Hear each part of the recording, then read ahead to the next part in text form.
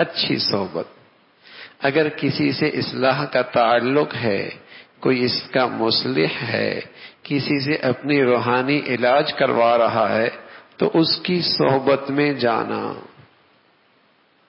उसके पास बैठना। लेकिन मेरे अजीजों, ये सोहबत उस वक्त तक मुफीद नहीं होती, जब तक कि उसकी अजमत, मोहब्बत अजमत, मोहब्बत अकीदत दिल में हो, और जब मोहब्बत और अकीदत दिल में होती है, अदब खुद ब खुद आ जाया करता है। हाँ। बस औकात अब लोगों में बयान सुनने का चस्का तो होता है, कोई नई बात सुन लेंगे, कोई नई बात सुन लेंगे। सच यह है कि अगर किसी की अकीदत दिल में नहीं, और अजमत दिल में कोई नहीं तो उस सेहत, उस सोहबत से निरे बयान से नफा भी कोई नहीं होता। नफा भी कोई नहीं होता। बल्कि अगर एक बात और कहूँ, तलब लेके जाए। और तलब भी सिर्फ़ तलब नहीं, जिसमें एहतियाज भी हो। जैसे ना, एक आदमी पाँच सौ रुपए का नोट तकसीम कर रहा है। एक आदमी के पास लाख रुपए अपना मौजूद है, और एक आदमी के पास लाख नहीं, फकीर है। अब वो पाँच सौ का नोट की तलब तो सब में कि यार मुफ़्त मिल रहा है ना, कोई बात नहीं, मैं भी ले लेता हूँ। लाख वाले के दिल में भी तलब है। और जो फकीर है, उसके दिल में भी तलब है। लेकिन दोनों की तलब में फ़र्क है। लाख वाला कहता है, मिल गया तो ठीक है, ना मिला कोई बात नहीं। न मिला तो कोई बात नहीं। लेकिन जो फकीर है, वो कहता है, मिया, लेगी छोड़ना है।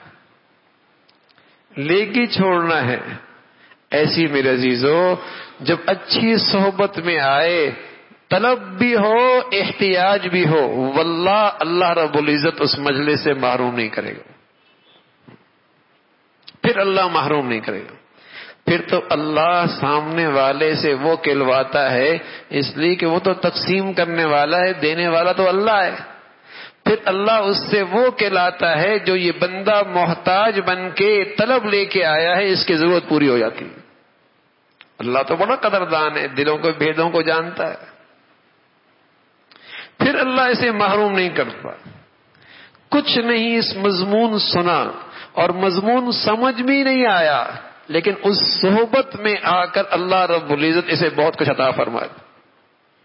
इसलिए कि असल तो सोहबत है ना हजूर अली सलात के सहाबा रिजवान आपकी सोहबत एक लम्हे ईमान की वजह से मिल गई, सारी दुनिया से अफजल हो गए।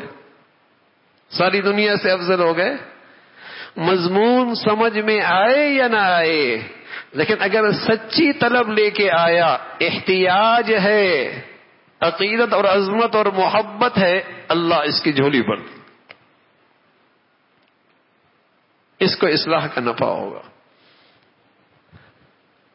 वरना मेरे अजीजों, निरे बयानों से जो एक होता ना नई कोई बात ऐसी हो जाए, मज़ेदार बयान हो जाए हाँ तो ये कानों का बस औकात सिर्फ़ मज़ा होता है। इसलाह कब होती है? जब आदमी उसकी खिदमत में जाए, जिसकी अजमत, जिसकी अकीदत, जिसकी मोहब्बत, अगर ये नहीं है, अदब भी नहीं आएगा। अदब भी नहीं आएगा। और बदब बा नसीब हुआ करता है, बेअदब तो बदनसीब होता है।